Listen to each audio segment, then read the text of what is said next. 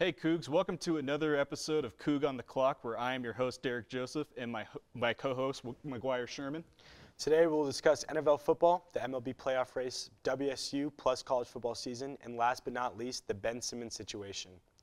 All right, and on to our first topic. The Seahawks were they, the Seahawks suffered an early loss to the Tennessee Titans, a very disappointing loss, I should say.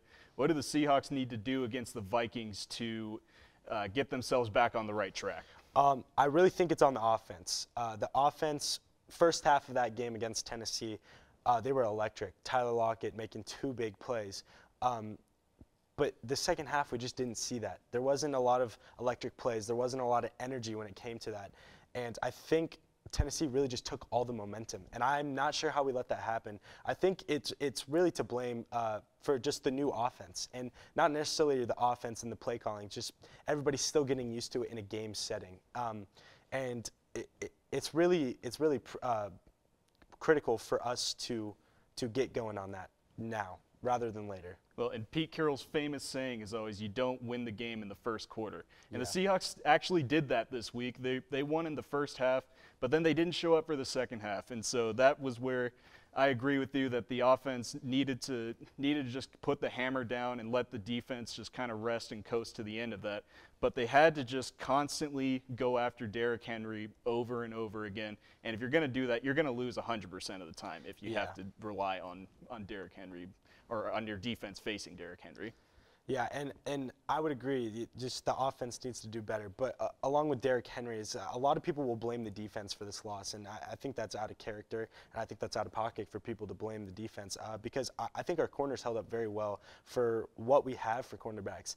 Um, we don't have A-list guys. We don't we don't have uh, superstar cornerbacks. We have a ton of guys that really just all mesh together somehow and uh, we've gone through you know tons of tons of corners in the uh, off season, and I I think in any situation, if you're any team, if you allow uh, Derrick Henry to get 41 touches, uh, he's going for over 150 yards. I mean, he's Derrick Henry, so there's not much uh, you can do about that. Yeah, hopefully the Seahawks can bounce back against a team who, where in their recent history, they have owned these guys. They have, they play them. It seems like almost every year, and it seems like they're able to win every time against them. Yeah. And now on to our next topic. All right, now we are going to talk about the MLB playoff race. Uh, so the Mariners uh, are within shouting distance of a wild card, and personally, I'm very excited for that as a Mariners fan of 19 years. You know, came out the womb a Mariners fan, uh, born and raised in Washington. So, what do you think we need to do as a team to advance ourselves into the wild card? Well, we need to just keep doing what we've been doing good all year. Uh, we have been the most clutch team in the MLB, and e- even one of the cl- most clutch teams in history this year. And we need to just keep on riding that wave of being the most clutch team. And that's the best part about this Mariners team is that they're never out of it. They never believe they're out of it, and they don't let anybody think that that they're ever going to be out of the game, whether they're down 10 runs, five runs, or even just one. Like we just need to get this team, like just beat every team that we that we have up, up against us, and like and we've just we've got a good start by sweeping the A's last week.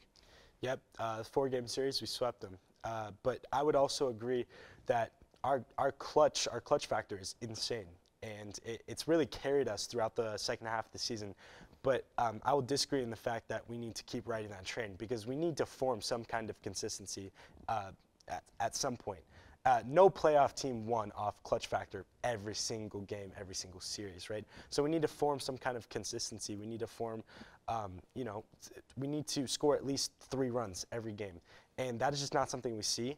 Um, and it's kind of hit hit or miss for all the guys on the on the on the lineup. You know, Jarred Kelenic, who's a young player. Um, some games, he sucks, 0 for 4. Some games, he'll hit two bombs in one game.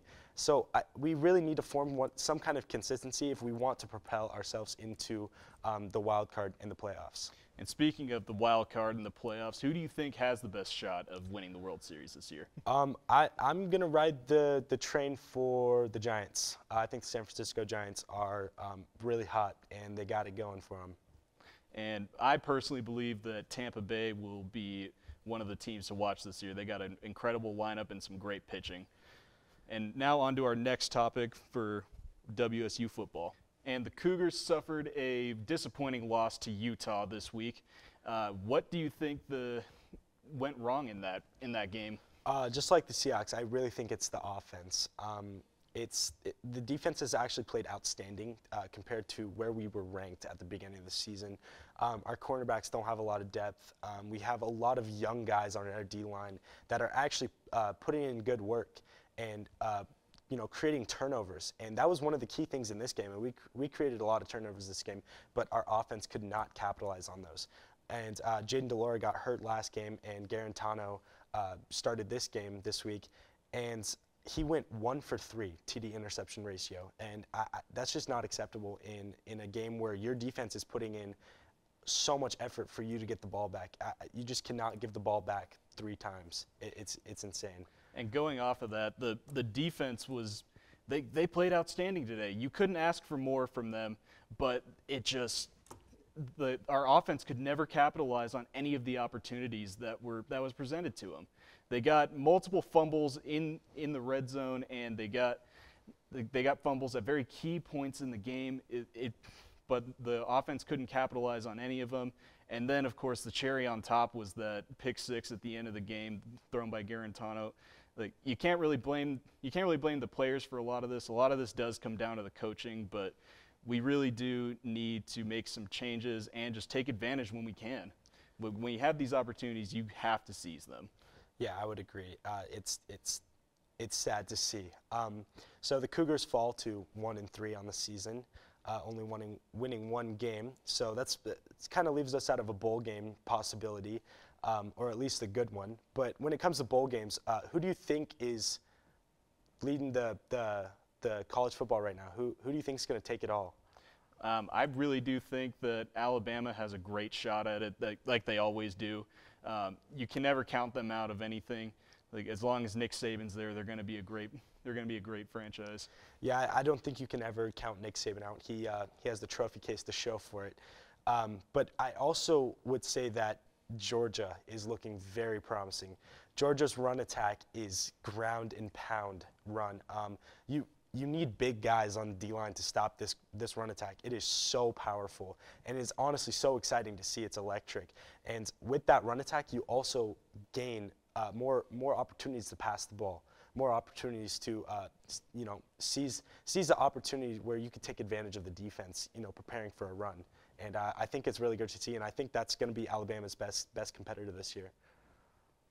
All right, that will bring us to our next topic, Mr. Ben Simmons the Ben Simmons situation, where um, he he's uh, had a lot of stuff going on this past week, and uh, he's put himself in a very vulnerable situation. What what's your thoughts on this? See, I think Ben Simmons really just needs to do what the Philadelphia Sixers are telling him to do. I get that it can be a toxic situation, but you, the reality of it is the the 76ers are the only team that's going to willingly want to pay that man 40 million dollars like I get the I get the whole thing. He can't like he can't shoot and all that stuff. Like I've seen the I've seen the videos. He's capable of shooting. He's capable of learning how to shoot. And so I think he really just needs to hash this out with with Philadelphia. Either lock the lock the lock him and the GM in the the same room together and just and just work it out. Just work something out because because that I see no better landing spot for Ben Simmons than Philadelphia. See, I I would agree. Ben Simmons does fit in Philadelphia, but I do think that a different point guard could fit better. I think that they lack uh, lack a really good three ball, and that's also a key part that Ben Simmons lacks as well. Um, ben Simmons is a great defender, so personally, I think what the situation is, they both need to cut their losses. You know, it's a very toxic situation for both both the people where Ben Simmons really, it, it, he's really not used how he should be, I feel like. Um, they're trying to space the floor with him, but he needs to get into the paint. He needs to be able to score. But Joel Embiid is also down there, and it's, it's hard for, for both of them to you know, crash the board and try to get points that way. So I think Ben Simmons would honestly fit on a team like the Warriors, who have a really good um, have a really good three ball, and he could just honestly come there, be a six man or a role player, and just be a facilitator for them, who who's also very solid on defense. I respectfully disagree as a Warriors fan because Ben Simmons is the kind of player like as we've seen from him in in Philadelphia, once he gets the slightest bit of criticism, he is he's not going to be able to handle it very well. Um, Steve Kerr is is the kind of coach that is not afraid to tell his to tell his players what uh, to tell his players what they're doing wrong, and and and like I don't think Ben Simmons would work very well with that.